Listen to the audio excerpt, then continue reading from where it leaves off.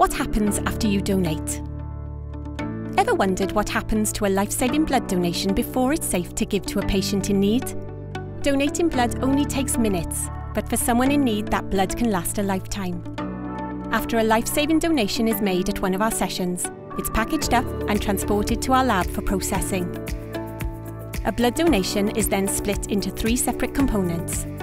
Red blood cells can be given to treat anemia, platelets act as a clotting factor for leukemia or chemotherapy patients, and fresh frozen plasma is used for burns or heavy blood loss.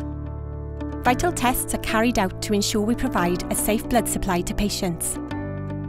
After being processed and tested, blood components are stored in our hospital service department.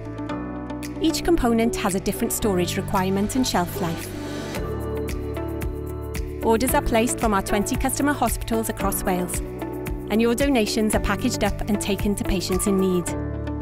One blood donation can save three lives, and one donation can help up to six babies in need of a blood transfusion. We need to collect over 10,000 units of platelets and 100,000 blood donations every year to supply our 20 hospitals.